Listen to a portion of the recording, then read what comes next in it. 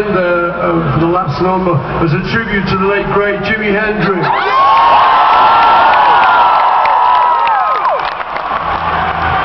And uh, I was very lucky because I got to know him a little bit in London when he came over there. And uh, a really great guy, you know.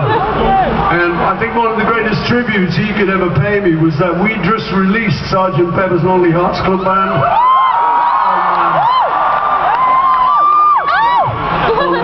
Friday, and two days later, he opened with it.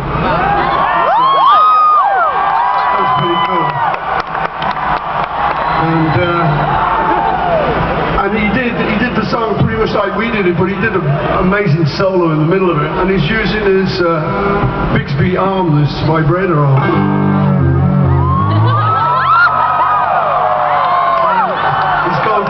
This, and in those days, if you did too much of that, it sent your guitar out of tune. Um, so he's standing there, and he's wildly out of tune, like no way back, you know. So he looks in the audience, he says, is Eric out there, man?